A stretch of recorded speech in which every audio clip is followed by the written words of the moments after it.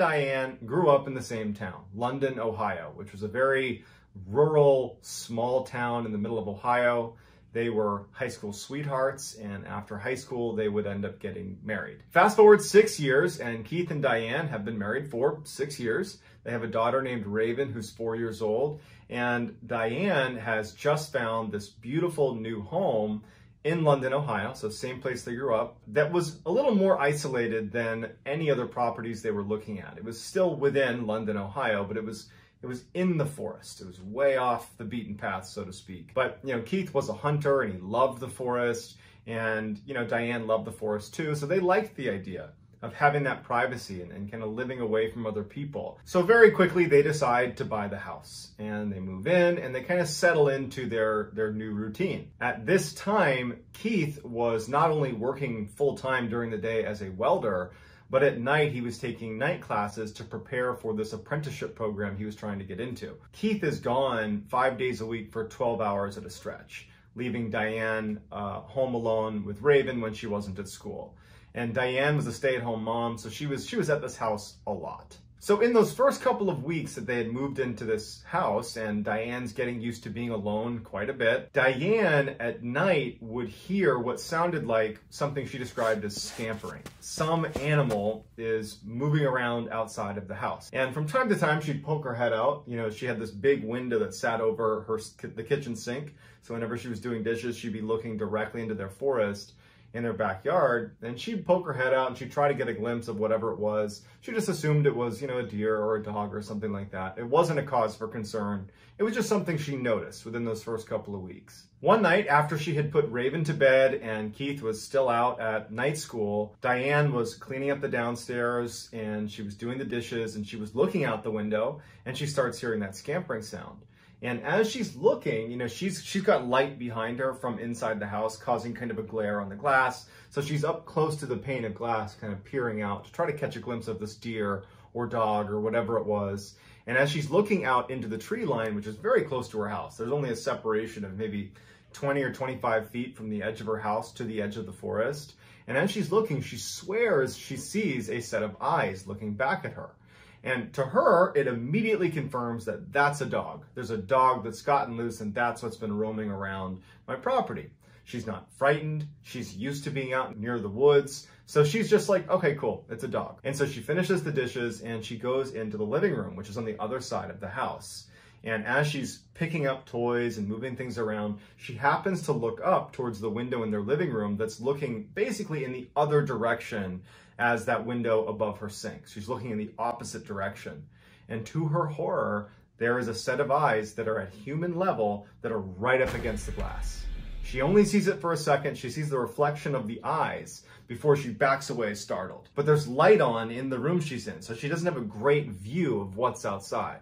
And she's not even sure if she actually saw those eyes. She's not sure if she's scaring herself. So she goes back into the kitchen to look out that window and see if she can see those eyes that she had seen before that she believed belonged to a dog. She was hoping that they would be gone and that that would kind of account for the eyes she just saw at the living room window, even though it would have been a very tall dog. She goes into the kitchen, she starts leaning towards the window, and then right as she's about to put her head almost against the glass, a head comes right in front of her on the opposite side of the glass with these glowing gold eyes looking right at her. She's horrified. She practically falls over and she's looking up from the ground and there's this face looking in the window directly at her. And she's scampering back like on the ground, getting out of the kitchen. And right at that moment, she hears car tires out on the driveway and it's Keith. Oh my God, Keith's gonna run into somebody that's outside she hears the door open and she's just praying it's Keith. And sure enough, he calls out and he sees her on the ground in the living room and he's like, what's going on? And so she immediately tells him she definitely saw somebody outside. She thought it was a dog. Maybe it wasn't. And Keith, he, he he's a hunter. You know, he knows they're out in the woods. They've just moved into this house. He's thinking maybe, maybe my wife is actually a little bit scared to be so isolated out here. Keith goes outside with the flashlight. He's, he's looking all around. He's walking the property. He can't find tracks. He, he, he, can't see anything. And so he comes back inside and he never really believed that it was anything other than maybe her imagination or just some random animal outside. And so he's just telling her like, hey, I know we just moved in. I'm sure you're stressed. You're here alone all the time. You know, you got this huge woods right next to our house. You're going to hear animals. I just wouldn't sweat it. It's, it's probably nothing to worry about. She was not cool with being, you know, told don't worry about it because she knows what she saw. So a month goes by and Keith and Diane have stopped talking about whatever Diane saw. You know, there wasn't anything else happening at the house. She wasn't seeing eyes or, or animals, hearing any scampering sounds. It was just kind of back to normal. Keith is gone. He's going to night school and Diane's home by herself and she's in the kitchen. She's looking out that window. She doesn't hear any scampering or anything. And without any warning, she sees a set of eyes suddenly appear on the edge of the window just outside of the woods. She sees the eyes dead on and she backs up from the window. She's thinking to herself, I have to protect Raven. And her first thought is turn off all the lights in the house. That way it can't see me. And so she runs around the house, terrified, but knew she had to do it, turning off every light. The last light she turns off is the living room light, and she's up against the wall. And as she hits the light in the living room, making everything dark, she suddenly gets a clear picture out that living room window where she had seen the eyes as well uh, the month earlier. And standing pressed against the glass is an, is an absolute human figure with eyes at human level, these orange glowing eyes at eye level, standing right against her window, looking in the window directly at her. Horrified, she starts making her way into the kitchen by sliding up against the wall. They have a landline phone that was hung in the kitchen. And so she gets to the phone, trying to keep an eye on that back window. She can see the side of this thing's silhouette. She calls 911 and says, there's someone outside my house. They won't go away. As soon as she hangs up, from her perspective, she can only see its shoulder. She watched the shoulder disappear out of her view. She poked her head back in the living room, and sure enough, it's gone. And as she's sitting there, it's silent. There's no sound in the house. She can hear clear scampering sounds, like running sounds outside of her house as this thing is running all the way around her house. And she's sitting there wondering if this thing's gonna break a window to come inside, what would she even do? And so finally she sees the flashing lights of a cop car pulling into the driveway and she hears the police knock at the door. She runs to the door, opens it up, and she's hysterical. And the police are trying to calm her down to just get the story of what's going on. And she's pointing out, you know, saying there's something out there. And the police start looking around the property. Keith comes home and he knows instinctively what's probably happened because the police are scanning the property for something and he's thinking she saw this thing again, you know, whatever it is, it probably was just a reflection of herself in the glass. And now she's called the police. You know, this is a small town Keith is worried that people are going to think he's crazy. And so it, it, he comes in and he regretted this, but he immediately got mad at his wife. Like, what are you doing?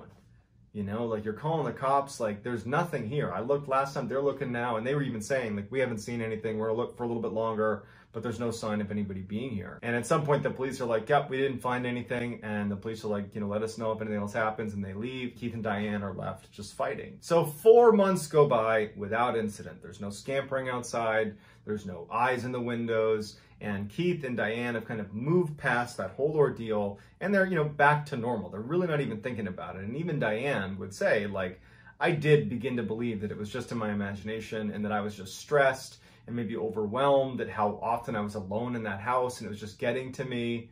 And, you know, four months go by. It's, it's, it's early December of 1981 and it was the first big snowfall of the winter. And Keith wakes up one morning after the snowfall, you know, a few inches on the ground, and he decides, because his family's still sleeping, that he's going to go out and he's going to get donuts and bring them back for the family, donuts and coffee. So it's still dark outside. He goes outside, starts up his car, you know, he's rubbing his eyes, he's still tired, and he's adjusting his rear view mirror. And when he stops it for a second and he's looking up there, he thinks he sees somebody standing behind his car. What? and he like readjusts it and he looks and it's gone. And so he throws the car in park, grabs his flashlight, and he starts looking around because he knows he just saw someone standing behind his car. And so he's walking around shining his light and he's realizing the irony of this situation. This is the same situation that his wife was in, believing she saw somebody outside their house, looking for it, it's nowhere to be found. He just saw someone standing, saw the eyes of a person, you know, standing behind his vehicle, can't find this person. And he's thinking, you know, was there any truth in what she saw? Was I wrong? And so he's looking everywhere and all of a sudden he sees tracks. He can't tell what kind of tracks they are, but there's clear prints in the snow. It's fresh snow. He knows where he had been walking. And he starts following them, thinking he's going to get to either a person or he doesn't know what. And he sees they stop right next to his house. And he's looking like, where could they have gone? And then he looks up to the, there was a first floor section of the house that was a little bit extended. So there was a roof that was at the first floor level, and then there was the rest of the house that was at the second floor level. And he sees that the footsteps go from the ground to the first floor roof, and then they go up to the second floor roof, and they go over to the other side of the house. Who's doing this? What's doing this? And so he starts going to the other side of the house and he can't see any more prints. And he's looking up at the top of his house and he's thinking, Am I going crazy? something's on my house. Like, what's going on?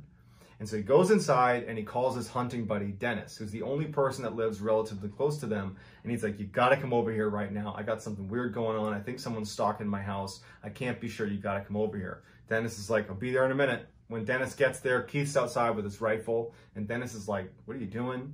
And he's like, Somebody, and he shows him the prints jumped on my roof. Someone's on my roof. I don't know what's going on, but someone I think is on my roof. And as they're talking about it, they hear what sounds like thump. Something just landed really hard from a pretty high distance. And it was on the other side of the house. They kind of run around, you know, rifle, and Dennis had his rifle too. They go to the other side and they see like two clear footprints, but 20 feet away from the edge of the house. Meaning this thing on the roof, if it jumped off, it jumped not only two stories to the ground, but it jumped 20 feet out away from the house as well because there was no other footprints. And they just heard it land and it ran off into the forest. And so Dennis and Keith look at each other and Dennis is like, what do you want to do? And Keith's like, let's go after it. Now, Dennis and Keith, they hunt in these woods all the time. And they see right away that the footprints, the, the tracks of this, this person or creature or whatever it is, they're about 14 inches long and it appears to be a bipedal creature. It does not appear to be on four legs. Something's moving on two legs. And they're thinking about just how would this person be able to get on the roof? What animal runs around that has a 14 inch track that runs on two legs? Like they're not really sure what to make of it. Is it a person? Is it a creature? We don't know. And so they follow the tracks into the woods and the whole time they have this awful sensation that something's watching them. And from time to time they would hear something a ways away from them that sounded like a big animal moving in the forest but they could never quite get to it in time. And at some point, they started hearing noises behind them. And they're thinking like, is it possible that this thing is has run ahead of us and then looped back around and is now tracking us? Like they were feeling really uncomfortable.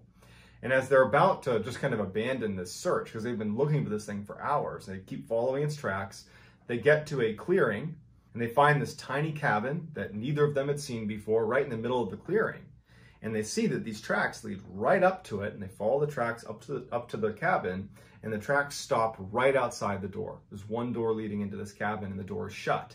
And they're thinking like, what animal can open and shut doors? And so Dennis starts immediately hitting on the door, trying to get this person to come outside and show themselves. We know you were over at Keith's property. Get out here. We followed you here. We know it's you. There's no sound inside. There's no movement inside. They're looking in the windows. There's nothing. Keith realizes like it's a bad look for us to have tracked this person to their house. We have guns. Like this is a bad look for us. We, we can't be here. We need to leave and, and just let this go. They have a couple more choice words and then they leave. And they decide instead of going back through the woods, they go to the nearest road that they could hear nearby. They go to the road uh, and they go to a payphone. They call Keith's father who comes to pick them up. And when they hop in the car, Keith's dad is like, why do you have guns? And Keith and Dennis explain what happened, and they describe this cabin in the woods that they were just at. And Keith's dad is like, "Oh, I know who lives in that cabin. It's this guy who works at the at the tire shop. He's a he's a loner type guy, older guy. Uh, no one really knows much about him. So Dennis is like, we got to go to that tire shop. I want to get a look at this guy.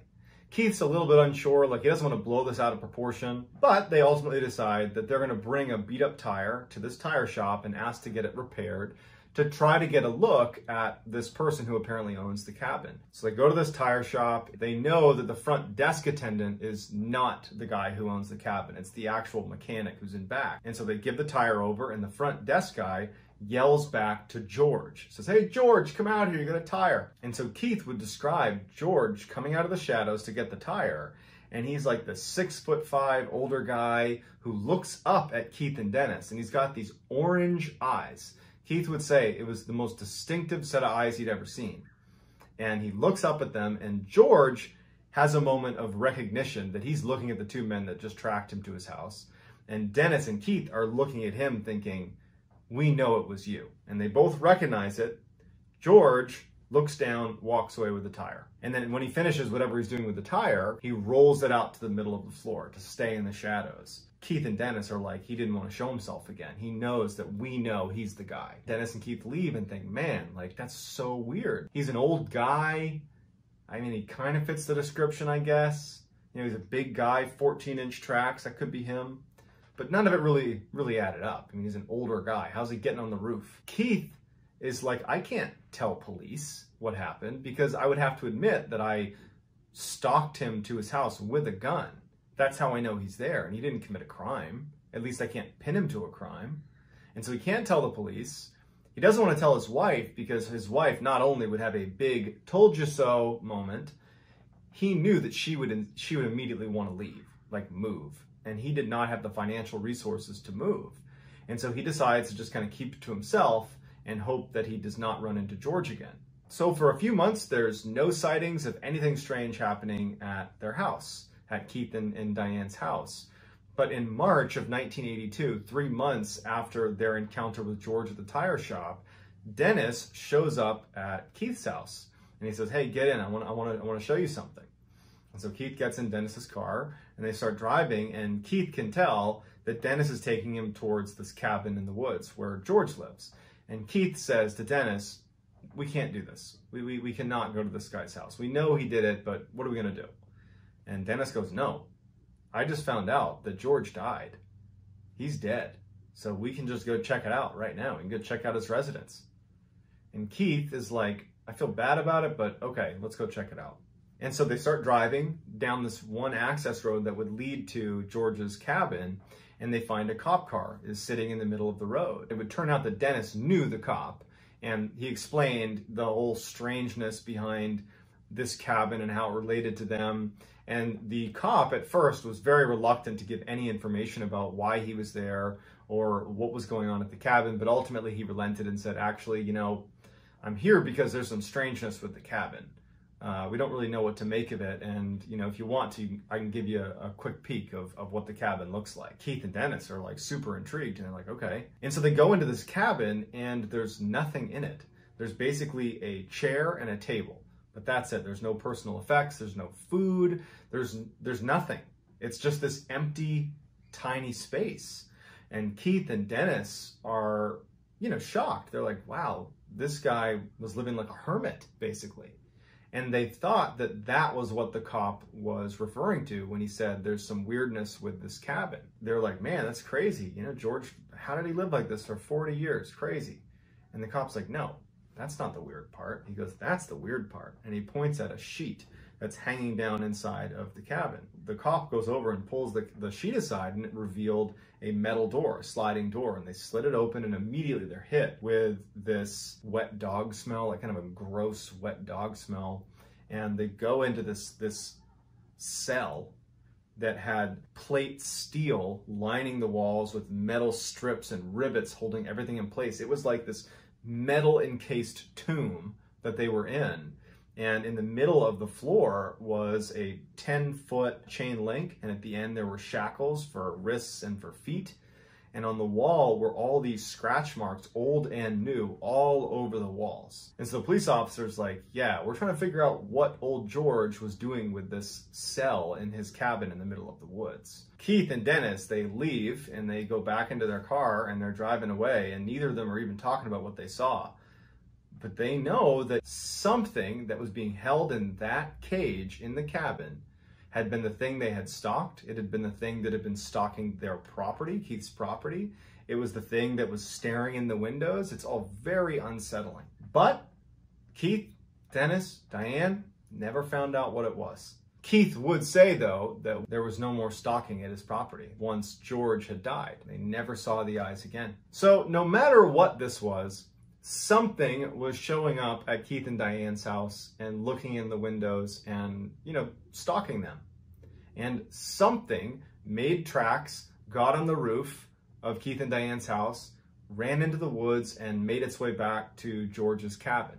Now, we don't know if that something was just George or if it was some creature, some animal that was in that cage or if it was something else. So let me know in the comments what you think it was and what happened and I'll do my best to get back to as many people as I can. If you enjoyed this story, I would ask you seven-year-old Lydia Makarchuk left her home country of Ukraine and moved to Bracknell, which is a town just outside of London. Shortly after moving into her new apartment, Lydia went out and got a job as an accountant at a local hotel. And then after that, Lydia pretty much swore off her social life and instead just focused exclusively on working hard and saving money. The one reprieve she got from work was going to church on Sundays. Two years later, Lydia was at her church enjoying the coffee hour that always followed the Sunday sermon when another member of her church, who she didn't really speak to, this 41 year old man named Norbert Varga, approached her and kind of awkwardly complimented her shoes. And she was so flattered by this that it opened up a friendly conversation between the two of them.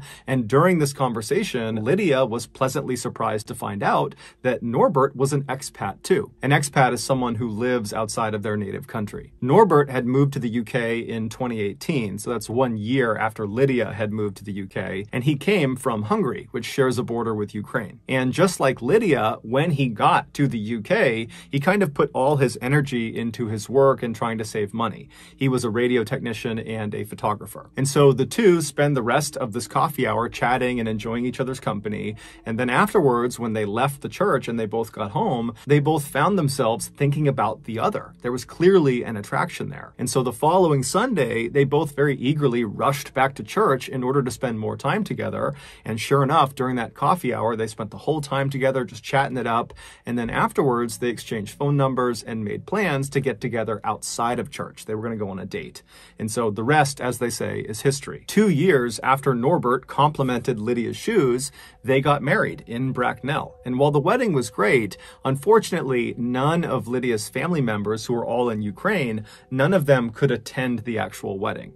And so the newlywed couple decided the way they would handle that is their honeymoon would be spent in Ukraine. That way, Lydia's family could celebrate their wedding as well. For a variety of reasons, this honeymoon trip to Ukraine kept getting pushed back, but finally, in September of 2021, everything lined up, everyone was available, and so Norbert and Lydia rushed to the airport and they hopped on a flight. And during this flight to Ukraine, Lydia remembers being so excited specifically about her husband finally getting a chance to spend some time with her 29 year old younger brother Miroslav. Lydia was very close with her brother, and so it mattered to her greatly that he and her husband had a good relationship.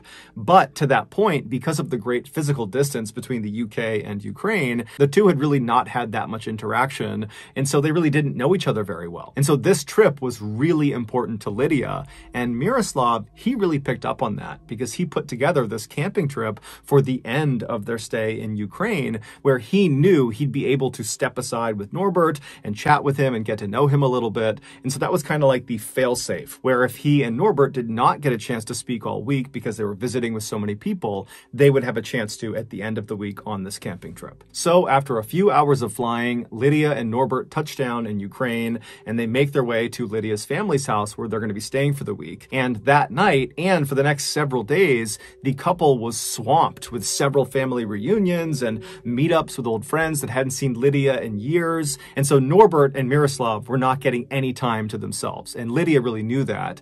And so she and Norbert began looking forward to this camping trip because that not only represented a kind of peaceful break from the chaos of all these reunions, but it also did represent the one chance they knew Miroslav and Norbert would get to interact with each other. And so finally, September 15th, the end of the week, it came and it was time to go on this camping trip.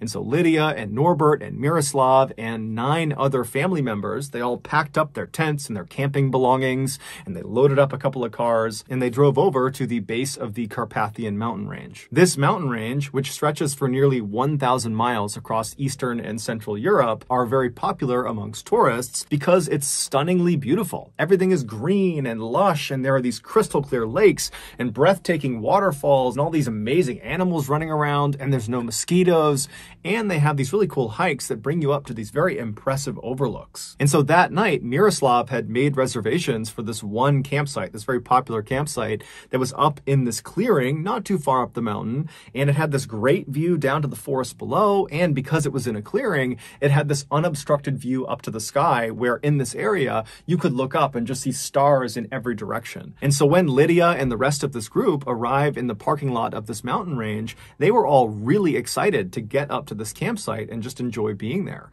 And so they park their cars, they get their gear out, they find the trailhead, and then they begin hiking up the mountain. And about two hours later, they arrive at this clearing. They find their campsite, which was marked by this small fire pit underneath a couple of trees. And so they go over and they set their tents up, and some people go out and get some firewood. And then before long, a fire was made, and this group of 12 people that had not seen each other in so long, they just sat down and began enjoying each other's company. They put tea on, they were swapping stories. It was really just this wonderful time. And then around 8 p.m., the sun started to set, at which point this huge group just stopped and enjoyed this beautiful sunset.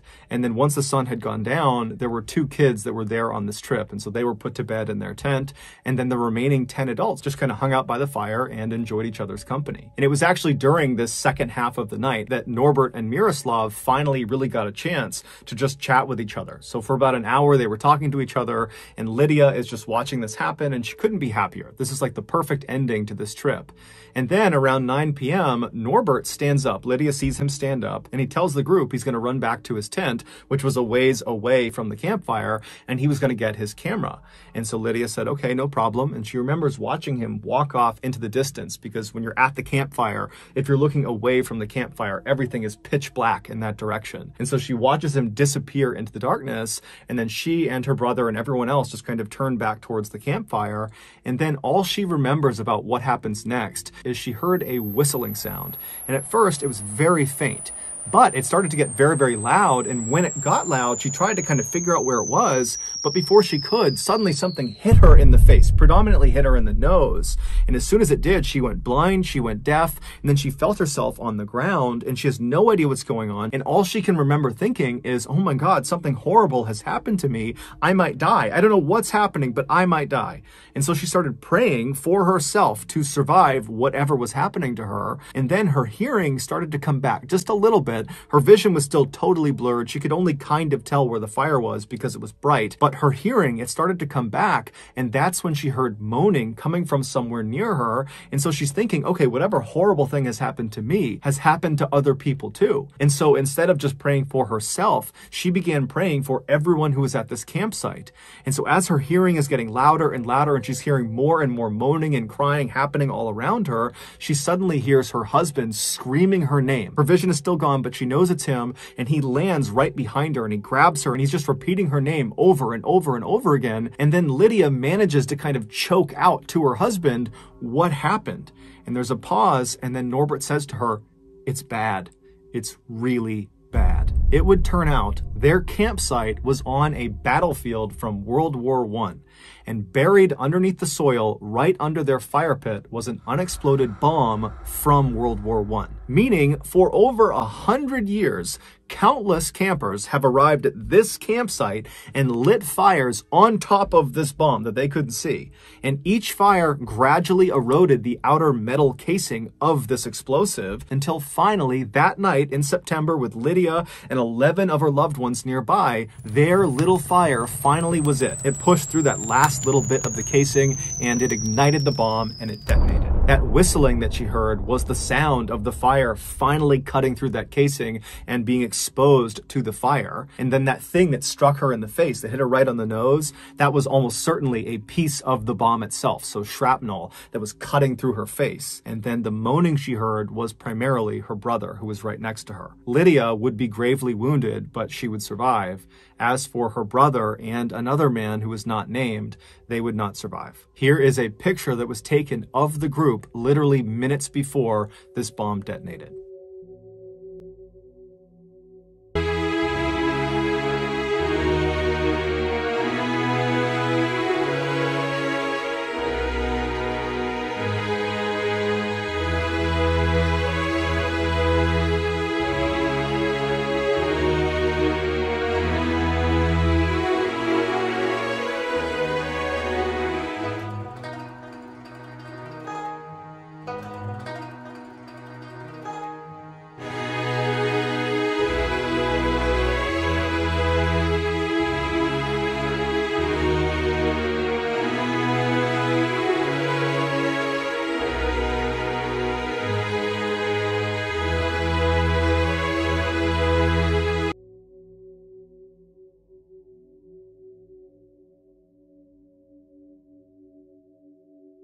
In 2015, I was in the military and me and my unit were sent overseas to do some training. Now, normally, training for us consisted of doing things both on the land and also in the oceans. But when we got to this particular country, we were told by this country that we were not allowed to go in their waterways unless we had head to toe complete full body protection. And even then, it was still pretty risky. And so naturally, we said, why?